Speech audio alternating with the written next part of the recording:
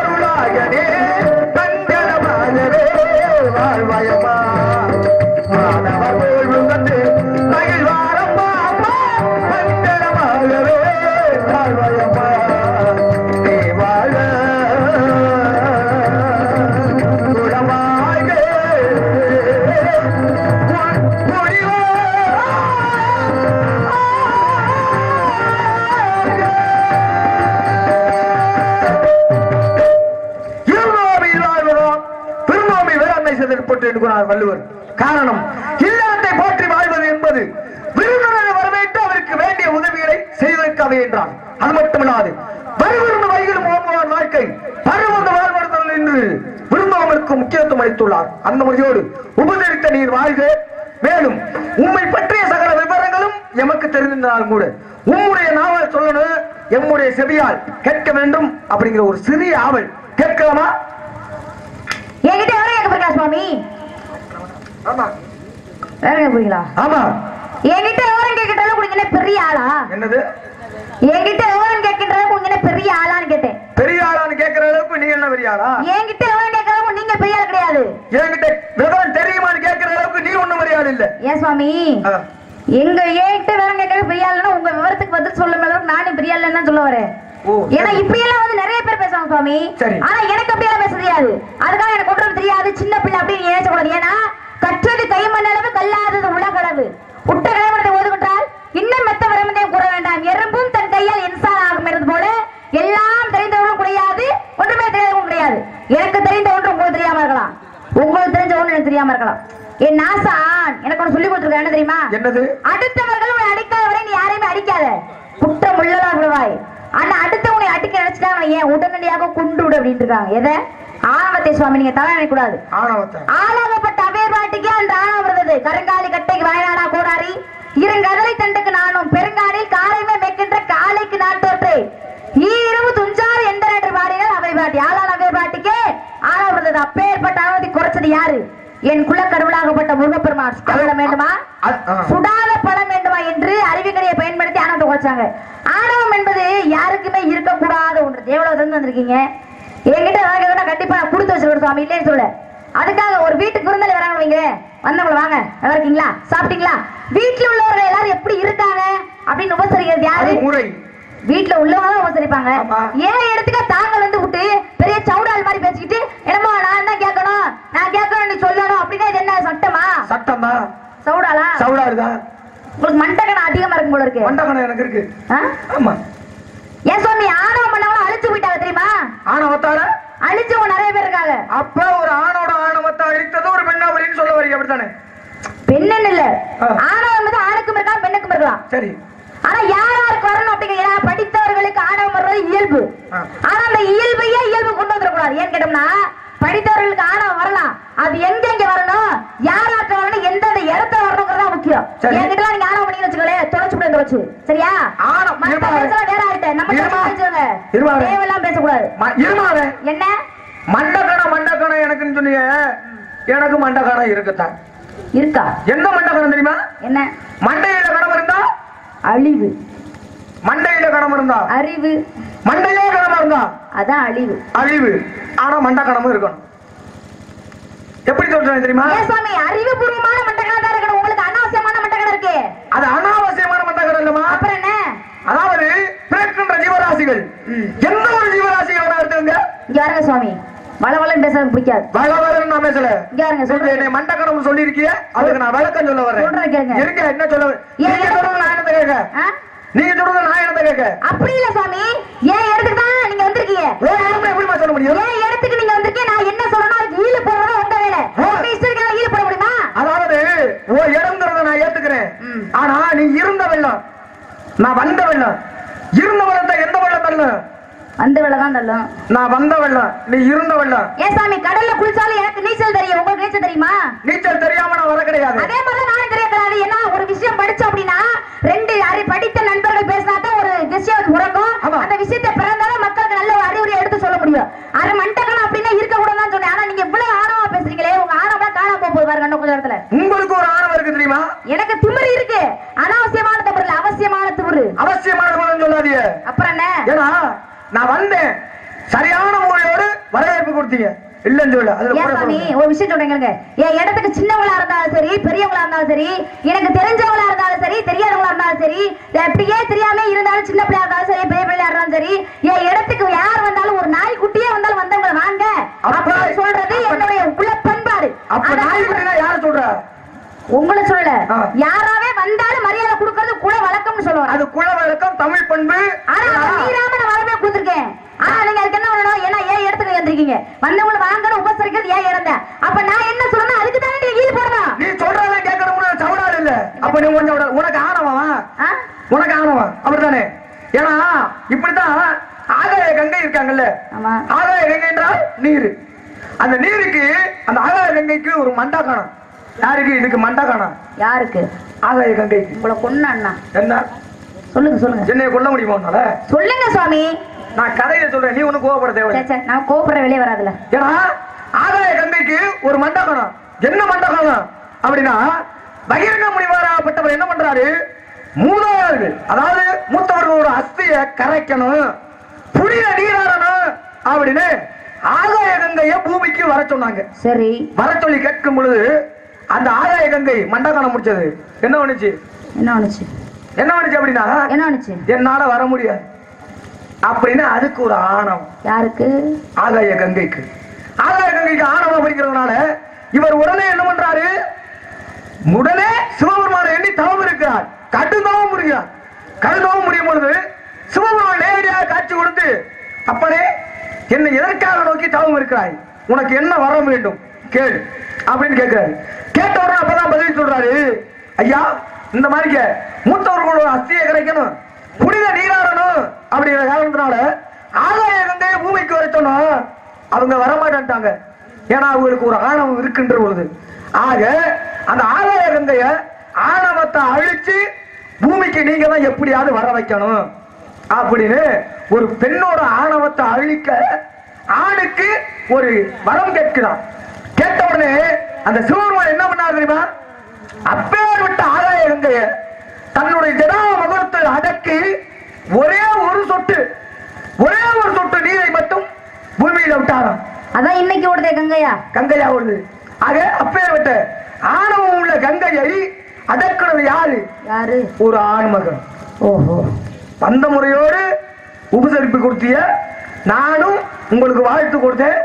யாரு என்ன ஏது அப்படின்னு கேட்கணும்னு கேட்டேன். அதுக்கும் உங்களோட அனுமதியோட. யாருன்னு சொன்னா சொல்லுங்க. என்ன? கேளுங்க சாமி. இல்ல கேட்க வேண்டாம் சாமி. அப்படின்னு சொல்லியிருக்காரு. நீ வந்தவனா நான் அப்படி ஆக்கு நான் இப்படி ஆக்கு அப்படின்னா உனக்கு ஆனவமா நீங்க தான் ஆணவம் பிடிச்ச அழகிய தவிர நான் ஆணவம் பிடிச்ச வச்சனா நான் எங்க ஆனவமா இருந்தேன் அப்புறம் நீங்க தான் சொல்லுங்க விவரம் கேக்குறீங்க. என்னைய பார்த்து நீங்க என்ன விவரம் கேக்குறது வெங்காயம்? என்னது? வெண்காயம் வெண் என்றால் வெள்ளை மனம் காயம் என்றால் உடம்பு. காயமே இது புயலா வெறும் காட்ட. வெள்ளை மனம் உடைத்த நண்பர் இந்த வெங்காயம்? வெங்காயத்தை உரிச்சா என்ன வரும் தெரியுமா? தோல் வரும். என்னை உரிக்காத. நான் உங்களை உரிக்க நினைக்கலையே. என்னை உரிச்சா தோடு மட்டும் வராது. ம், ரத்தம் சேர்ந்து வருமா உன் கண்ணும் கலங்கி ஊத்திடும் அப்படியா? பாத்துக்க. கண்ணு கலங்கி ஊத்துறது அதனாலதான். ஏன்னா சோழமன் அரசவையிலே சோழ ஏதாவது ஒட்ட கூத்தருக்கும் ஔவையாருக்கும் அன்னைக்கு போட்டி. சோழ மன்னருக்கும் சோழ மன்னர் தான் அதுல உட்கார்ந்துருக்காரு. யாரு? நீதிபதி. அவர் தான் நீதிபதி. ஒட்ட கூத்தர் பத்து கவி பாடுறாரு. உன்னையால எத்தனை கவி பாட முடியும்? ஏண்டா? உனக்கு என்ன இது? எத்தனை கவி பாட முடியும்? ஏண்டா? ஒட்ட கூத்துற ஔவையார் கேக்குறாங்க. நீ எல்லாம் வெக்கம் இல்லாம அங்கிருந்து வந்துட்டு நீ எல்லாம் கவி பாட நினைக்கிற. என்ன நீ ஒரு கவி அதிகமா பாடுவியா? அப்படின்னு அவை பிராட்டி ஒட்ட கூத்தரை கேட்கின்றார். சரி. அப்பொழுதுதான் ஒட்டக்கூத்தர் உடன் உன்னை விட நான் ஒரு கவி அதிகமாக பாடுவேன் என்று சொல்றார். சரி. நீ என்கிட்ட போட்டி போடாத. மத்த யார்கிட்ட வேணா போட்டி போடு. என்கிட்ட போட்டி போட்டுன்னு வச்சுக்க. தொலைச்சு கூட தொலைச்சு. யாராவது பேசுறவங்க இருச்சா எவ்வளவு அவங்ககிட்ட நீ போட்டு போட்டா நியாயம்? தர்மமான விஷயம் என்கிட்ட வந்து சவடார் பேசிக்கிறதா நியாயமாமா அடிச்சு மண்டை போயிரு அப்படின்னு கவ்வை பிராட்டி ஒட்டக்குத்தரை பார்த்து. ஆ. நாங்கள் கோபிக்க வேண்டாம் சுவாமி. எது எல்லாரும் எது நடந்தாலும் நன்மைக்கு சரியா? அப்ப அப்படி சொன்ன உடனே பாக்குறாங்க நீ என்ன விட ஒரு கவி அதிகமா பேசுறியா? நீ அப்பேற்பட்ட மும்புல. சரி வா பேசு. உன்னால எவ்வளவு பேச முடியுமா பேசு அப்படிங்கிறாங்க. அப்படியா? நீ என்கிட்டயே போட்டி போடுற அளவுக்கு நீ அவ்வளவு பெரிய ஆளா இருக்கியா நீ வாடா. எவ்வளவு பெரிய ஆளா இருந்தா நான் தூக்கி சாப்பிட்டு போயிருவேன் நீ என்கிட்டயே வந்து போட்டி போடுறா அப்ப நீ எவ்வளவு பெரிய ஆளா இருப்ப? அப்பதான் சொன்னாங்க ஆளுக்கு ஒரு கவி பாடுறாங்க. பத்து கவி பாடுறாரு பத்தாவது கவியிலே நின்னுக்கிறாரு ஒட்ட குத்தரு பதினோராவது கவியாக நீ பத்து கவி பாடினதுக்கு பெரிய ஆளுங்க. நான் நாலு கோடி கவி பாடாதா மதியாதார் தலைமுற்ற மதித்தருக்கா சென்று மதியாமை கோடி பெறும். உன்னீர் உன்னீர் என்று உபசரியா தம்மையில் உண்ணாமரத்தில் கோடி பெறும். கோடி கொடுப்பினும் தன் நா கோடாமட எழுத்து அதே. அப்ப ஒரு கோடி நாலு கோடி பேர். அது ஒரு கோடி இது ஒரு கோடி இது ஒரு கோடி இது ஒரு கோடி. அப்ப நாலு கோடி பாடல் சென்றா ஒரே பாடல் நாலு கோடி பாடல் அடிச்சு அவனோட ஆணவத்தை அழிச்சது பெண் இல்லையா? பெண்ணு. ஆமா. அது போலதான் ராமாயணம். ராமாயணத்துல ஆ? ஒட்டக்குத்தர் பாட்டை பாடுங்களா? எங்க இன்னும் மட்டும் அதைத்தானே பண்ணிட்டு இருந்தோம்? பாட. மரம் அதுக்காக தானே வந்திருக்கோம். பேசுற நேரத்துல பேசுறோம் பாடுற நேரத்துல பாடிக்கிறோம். இயல் இசை நாடகம் இசையை என்றால் பேச்சு இசை என்றால் பாட்டு நாடகம் என்றால் நடி முக்கலந்து இருக்கணும். அப்பதான் நாடகம். ஆக ராமாயணத்துல ராமாயணத்துல வனவாசம் சென்றது யாரு? யாரு? ராமன் லட்சுமணன் ஆமா மூவர் சென்றாங்க. ஆமா. மூவர் செல்லும் போது. அவங்க தங்கியிருந்த இடத்துல ஒரு அழகான அரக்கி. அரக்கி அழகான அரக்கியா? அரக்கி அதானே அழகான அரக்கி? ஏன்னா அழகா மாறினது யாரு? அந்த அரக்கி தானே அழகா மாறினாங்க? ஆமா. ஏன்னா அவங்களோட உண்மையான ரூபமே அழகுதான். சூர்பனகை. என்று சொல்லக்கூடிய ஒரு பெண். அந்த பெண் என்ன பண்றாங்க? ராமனோட அழகை கண்டு நான் உன்னை திருமணம் பண்ணிக்கணும் அப்படின்னு கேட்கிறாங்க கேட்ட உடனே எனக்கு ஏற்கனவே திருமணம் ஆகிவிட்டது. அதுவும் பிரம்மச்சாரிய விரதம் கடைபிடித்துக் கொண்டிருக்கிறேன். உன்னை திருமணம் பண்ண முடியாது அப்படின்னு சொல்றாரு. சொன்ன உடனே மீண்டும் ஒரு கேட்கிறான் கேட்ட உடனே வேணா நான் எனக்கு திருமணம் பண்ணிட்டேன் என் தம்பி லட்சுமணன் சும்மா தான் இருக்கான் வேணா அவன்கிட்ட கேட்டுவாரு அப்படின்னு சொல்றார் சொன்ன உடனே அவரும் போயிட்டு கேட்கிறாரு. யாரு? சூர்பனையாப்பட்டவள் போய் கேட்கிறார் கேட்ட உடனே அவரும் மறுத்துக்கல.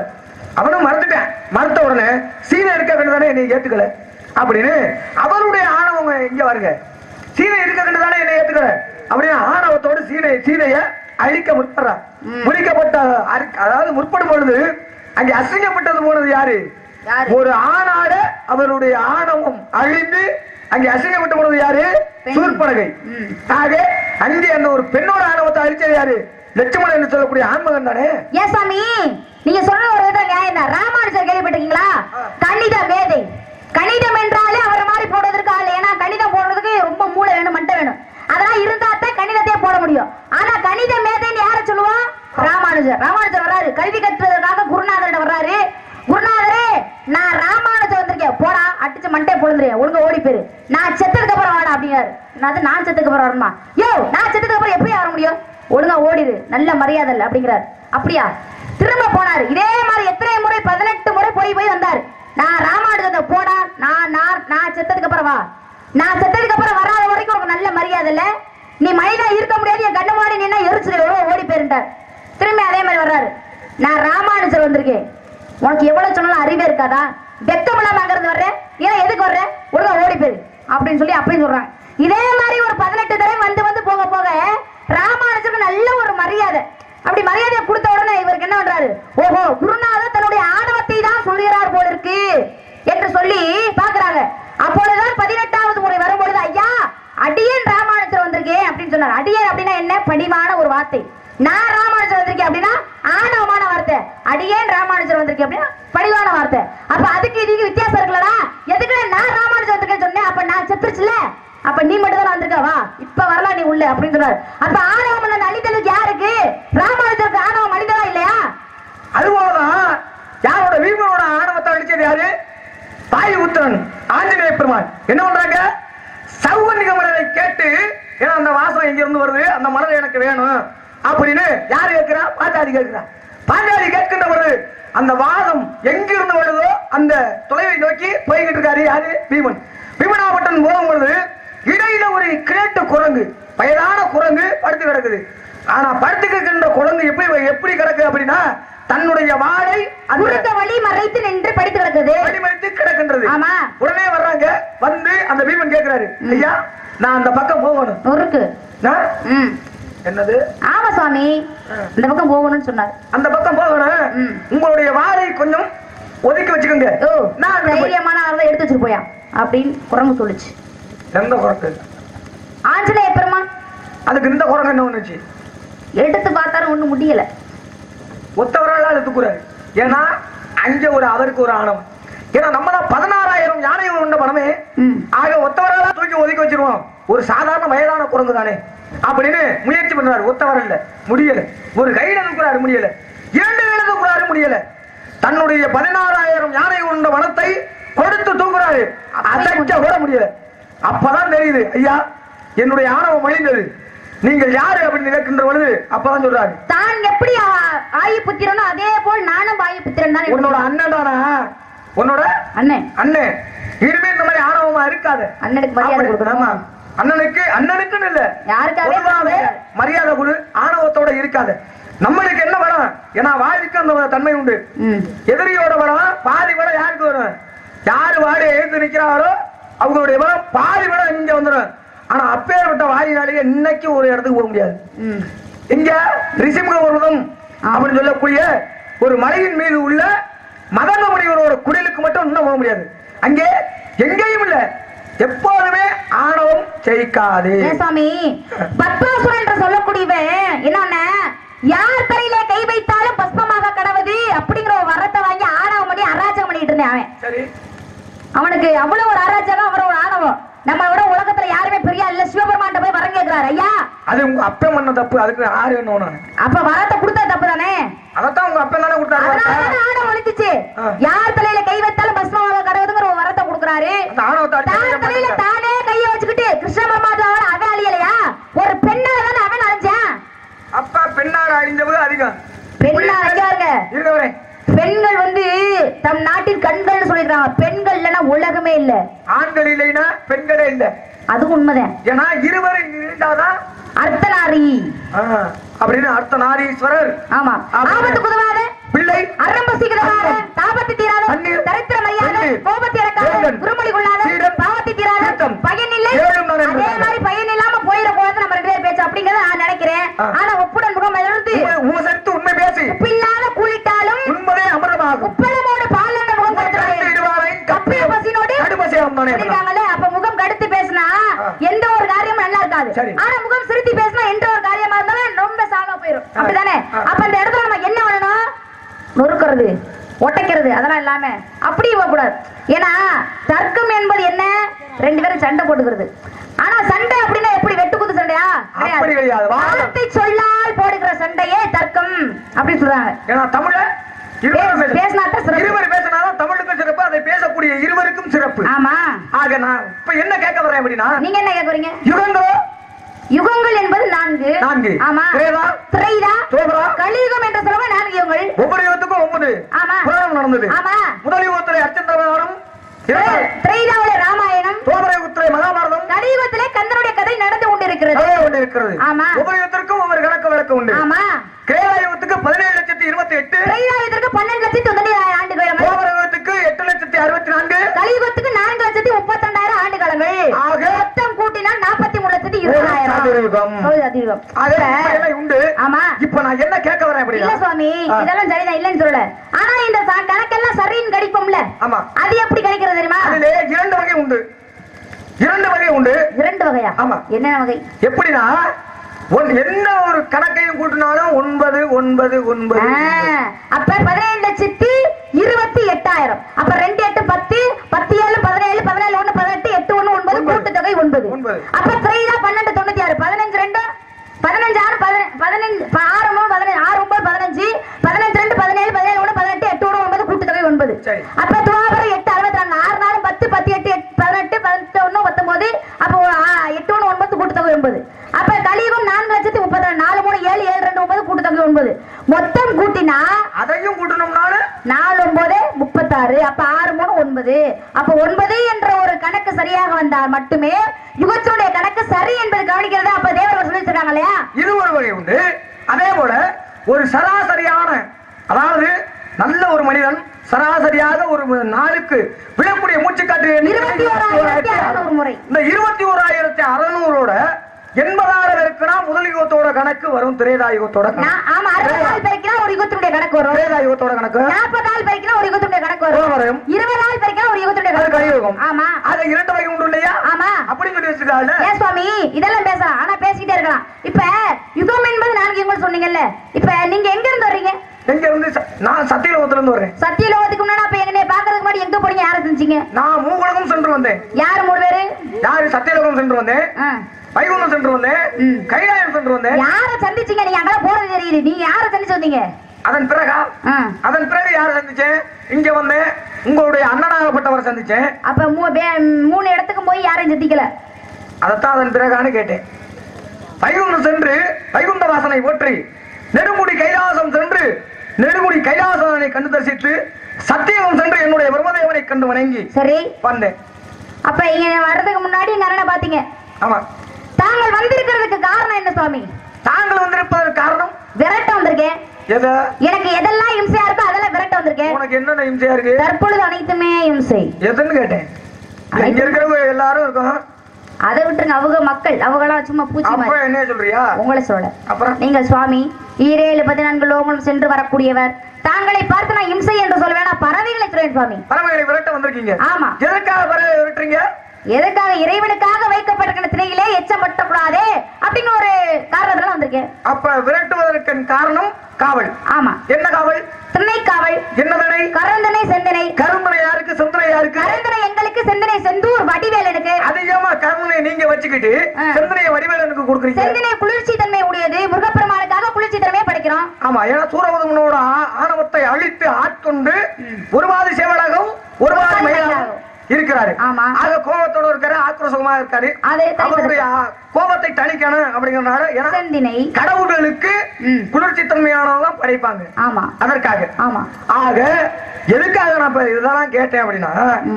பெண்கள் அடையக்கூடிய பருவங்கள் ஏழு. பேதை பெருமை மங்கை மடந்தை அறிவை தெரிவி பேர் இளமை என்று சொல்லக்கூடிய இல்ல.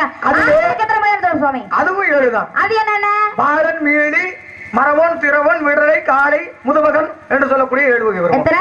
ஏழு ஏழு. எத்தனை? ஏழுன்னு எத்தனை? ஏழுமா. எத்தனை சாமி? அட ஏழுமா. தப்பு இல்ல அப்புறம் என்ன? தப்பு இல்ல தப்பு இல்ல தப்பு இல்ல தப்பு இல்ல அதைத்தான் நானும் சொன்னேன். தப்பு இல்லை. சரிதான் சொன்னீங்க. ஆ, விரட்டி விட்டு அடிக்கிறீங்களா ஏ சுவாமி. சரி. நீங்க நீங்கள் அறிந்திருக்கக்கூடிய எள்ளு வகை உருவத்திலே நான் மங்கை பருவம் அடைந்துள்ளேன். மங்கை பருவத்துல என்ன பண்ணணும் என்ன பண்ணணும் முறையாக என்ன பண்ணணும் ம். என்ன தெரியல. வறண்ட நிலத்திற்கு தண்ணி தேவை. தண்ணி. இருண்ட வீட்டிற்கு வெளிச்சம். அதை போல சாடிக்கு மூடி.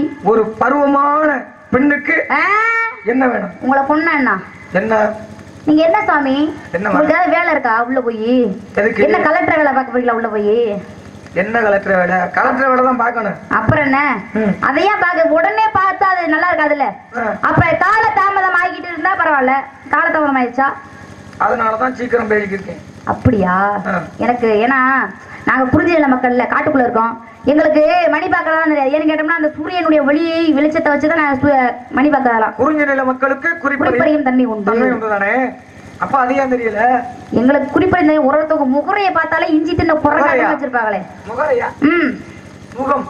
ம்ஹும். முகரை. முகம். முகமறை. அது முகம் மறை ம். இது முகம். முகரை. அகத்தின் அழகு. முகத்தில் தெரியும். முகத்தில் தெரியும். ம். ஆக அதுக்காக தான் நானும் பேசிக்கிட்டு இருக்கேன். அதுக்காகத்தான் நானும் பேசிட்டு இருக்கேன். சரியா? ஆக ஒரு பருவமான பெண்களுக்கு என்ன வேண்டும்? என்ன வேண்டும்? பாதுகாப்பு.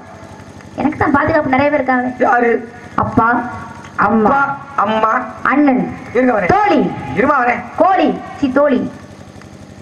அதாவது அம்மா அப்பா இருக்காங்க. அம்மா அப்பா எத்தனை வருஷத்துக்கு உங்களை பாத்துக்குவாங்க நான் ஒரு ஒரு ஒரு அன்பு ஐம்பது வயது ஐம்பது வயது அறுபது வயது. யாருக்கு? உனக்கா இல்ல அவங்களுக்கா? எனக்கு அறுபது வயசு வர வரைக்கும் பார்த்துக்குவாங்க அது வரையும் இல்லம்மா. அவங்களுடைய உயிர்? ஆ அறுபது வயசு எழுபது வயசு வரை இருக்கு. நூறு வயது.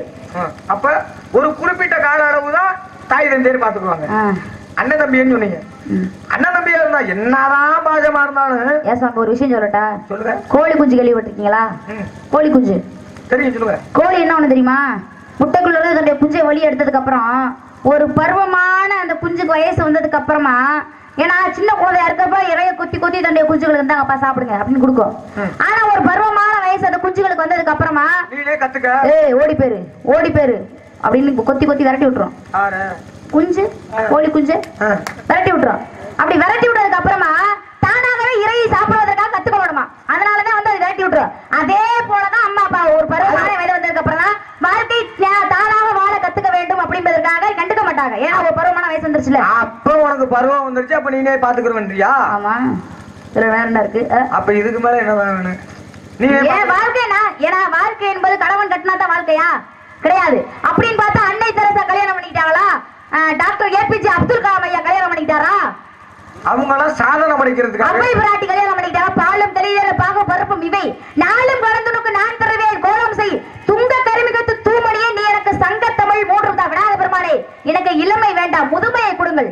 ஏன் எனக்கு முதுமையை கொடுங்கள்? மற்றவர்கள் என் மீது ஆசை வந்துவிடக் கூடாது எனக்கு ஆசை வந்துவிட என்றா? இல்ல கிடையாது. மற்றவர்கள் என் மீது ஆசைப்படக்கூடாது என்பதற்காக என்னை முதுமையை மாத்திக்க சொன்னல? அப்ப அவங்க- பருவ- பருவத்தை பாலாக்கிறது எனக்கு ஒண்ணு ஆட்சேபடையில நீங்க அதை பத்தி கவலைப்படுறீங்க? அவங்க தூக்கி ஒன்று நொறுக்கலாம். என்ன? இருமா வரேன் நொறுமா வரேன்? அவங்க பருவத்தை பாழாக்குறாங்க அப்படின்னா இறை தொண்டு ஆட்டணும் உங்களுக்கு என்ன சாமி அக்கறை? தமிழ் தொண்டு ஆட்டணும் முதல்ல ஒரு வார்த்தை சொன்னீங்கல்ல. நானும் ஒரு தமிழச்சி. யாரு? நானும். தமிழ வளர்த்ததெல்லாம் போது ம். உன்னைய சேர்க்க வேண்டிய இடத்துல நான் சேர்க்கணும்னு வந்திருக்கேன் எங்க பால்வாடியிலயா? சுருக்கமா. பால்வாடியிலயா? நீ அ- உன்னை அங்கதான் சேர்க்கணும். நீ அங்க இருந்தானே வந்திருக்கீங்க? யாரு? நீங்க? நான் வந்தேன்னா அது முடிஞ்சிருச்சு கதை. அப்புறம் எனக்கு தான் முடிஞ்சிருச்சு. உனக்கு இன்னமே தான் இருக்கு. ஆ, சரியா? அதுக்காகத்தான் உனக்கு மாப்பிள்ளை பார்த்து வந்திருக்கேன். ஓஹோ மாப்பிள்ளை.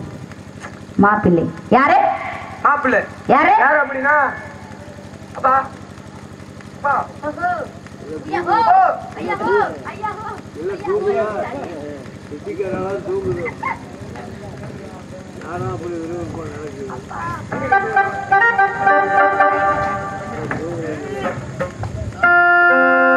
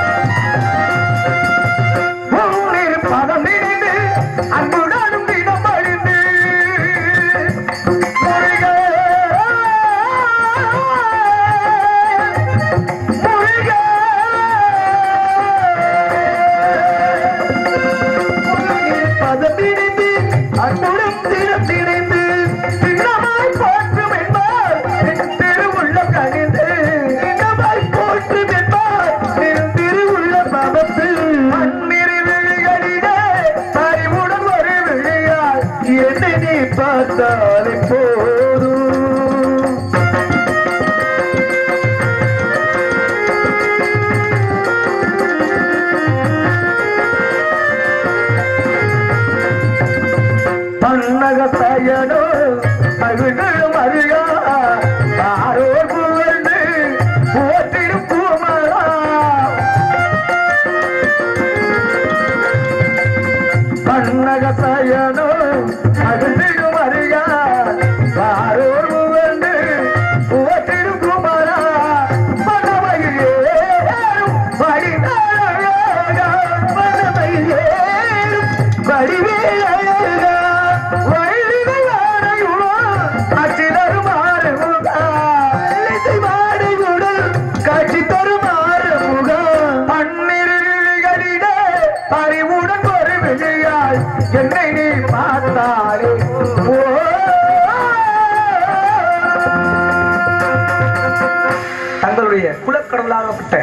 முருகப்பெருமானை தங்களுடைய கணவனாக அடைய வேண்டும் என்பது என்னுடைய ஆசை.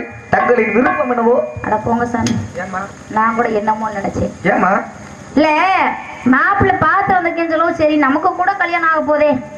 அப்படின்னு ஒரு சந்தோஷத்துல இருந்தேன். சரி. நமக்கும் கல்யாணம் பண்ணி வைக்க போறாங்க. அப்படிங்கிற ஒரு சந்தோஷத்துல இருந்தேன். ஆனா பேரை சொன்ன உடனே எவ்வளவுக்கு எவ்வளவு தூக்கி போட்டு நொறுக்கணுமோ அந்த மாதிரி இருக்கு? ஏன் என்ன காரணம்? ஏன்னா பிடிக்கல ஏன் பிடிக்கல? மனசுக்கு பிடிச்சா வேம்பு மனசுக்கு பிடிக்கலன்னா கரும்பும் வேம்பா மாறிடும். சரி. அதே போல என் மனசுக்கு பிடிச்சிருந்தா தான் நான் சரின்னு சம்மதம்னு சொல்ல முடியும்.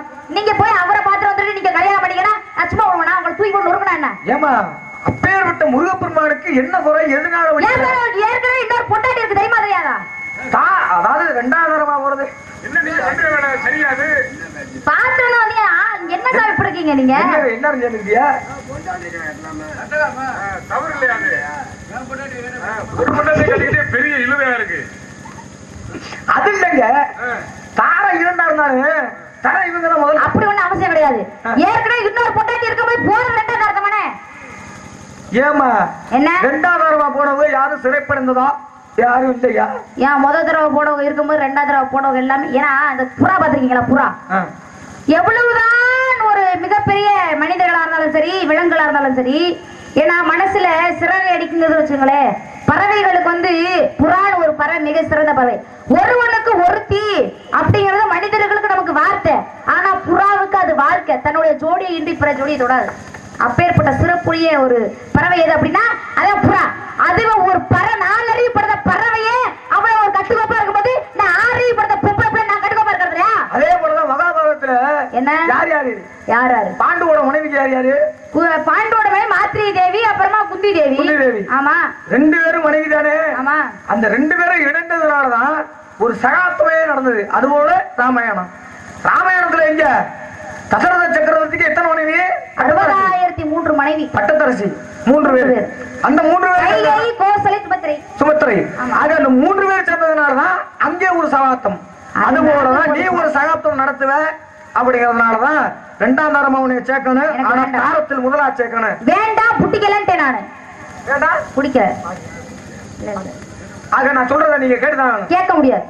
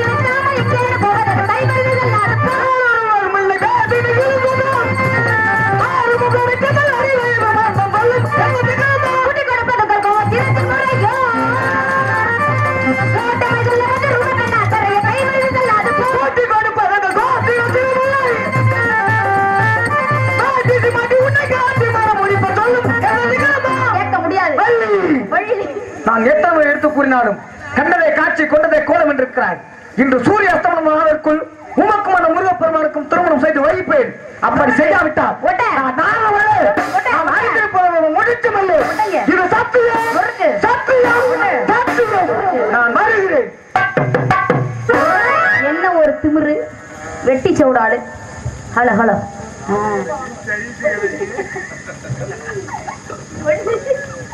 இன்னைக்கே இருந்தாலும் முகப்பெருமானையே திருமணம் முடிக்கிற ஒரு மிகப்பெரிய ஆசையில இருக்கேன் அது வந்து என்னன்னா நாரதர் கழகம் உண்மையிலேயே முடியுங்கிறது எல்லாருக்குமே தெரியும். அதனால என்னுடைய மனசுல என்ன இருக்குன்னா என்னைக்கே இருந்தாலும் முகப்பெருமானை திருமணம் முடிக்க மிகப்பெரிய ஆசையில இருக்கேன் ஆ, என்ன பண்றேன்? ம் ஆ. ஆ? என்ன தப்பு இல்ல? என்ன சொல்றீங்க? ஒண்ணும் புரிய மாட்டேங்குது. ஓஹோ. அப்படியா? சரி என்னைக்கே இருந்தாலும் முருகப்பெருமானே திருவடிக்கு ஒரு மிகப்பெரிய ஆசையில் இருக்கேன் இந்த ஊர் பொதுமக்களுக்கும் மற்றும் இந்த அனைத்து பாலகர்களுக்கும் மலர்காட்சியை தரட்டும் நன்றி நன்றி. கலந்த வணக்கம். வணக்கம். வணக்கம்.